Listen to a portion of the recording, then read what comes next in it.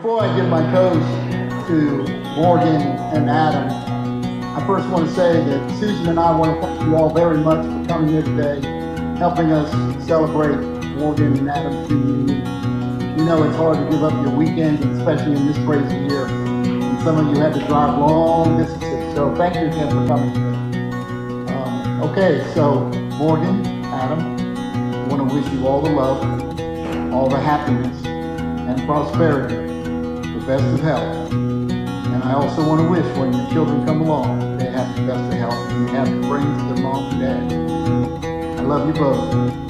Cheers.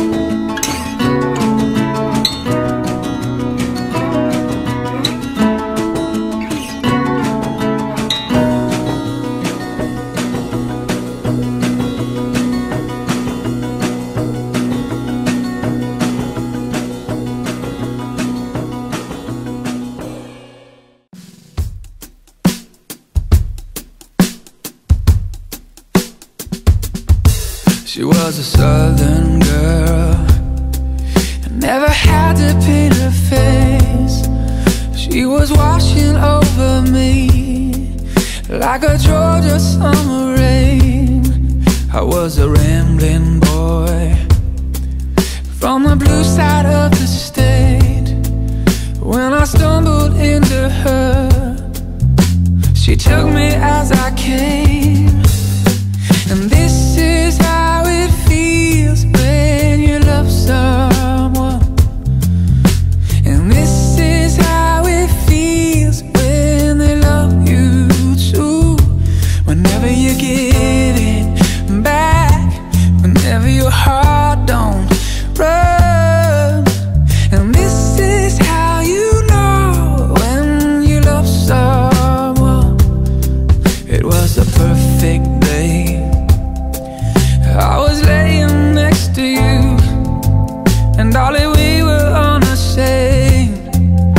Even God above was moved.